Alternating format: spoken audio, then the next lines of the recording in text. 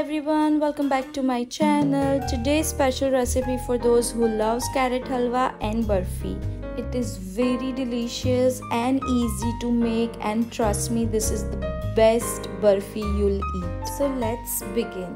In a pan take 4 cups of grated carrot. Close the lid and let it cook on a low medium flame for about 30 minutes. Once carrot cook completely add 4 cups of full fat milk mix everything well close the lid and let it cook for about uh, 15 to 20 minutes on a medium flame. Occasionally stir to avoid sticking in the pan. Once milk half of its size add 1 cup of sugar. 1 4 teaspoon of cardamom powder. 1 3 cup of khoya or mawa one third cup of uh, mixed dry fruit powder. I have used here almond cashew pista and walnut. Again mix everything well and let it cook on a medium flame for about 10 minutes.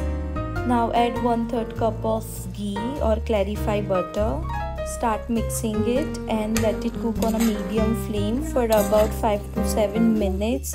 Do not close the lid here. Now as we can see our carrot has absorbed everything and it's cooked completely. Now switch off the flame and let it cool down completely. Once it's cooled down completely take any baking tray or any uh, vessel place a baking paper or parchment paper and start transferring keep it aside and let's prepare our white burfi layer for this I have taken here 1 tablespoon of clarify butter or ghee. Once it's melted completely, add half cup of khoya or mawa. One useful tip here whenever we are cooking mawa or khoya, always keep the gas flame on low otherwise it will stick easily in the pan or burn.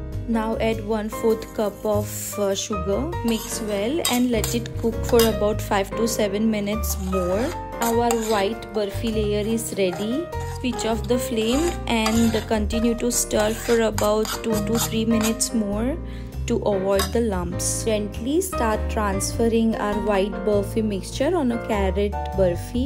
Start spreading it when it's warm. Do not wait for the white mixture to cool down completely.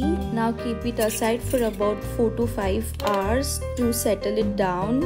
Or we can put it in refrigerator for about 2 hours. It rests for about 5 hours. Let's check on our burfi it has settled down beautifully and nicely I'm just decorating it with the silver varak. It is very easily and commonly available in any sweet store or any baking store. Now I have start making it in a square cuts at shown in video. Best fusion carrot halwa and burfi is ready i hope you like today's video if you like it please hit the like button share it with your friends and family. Subscribe to my channel.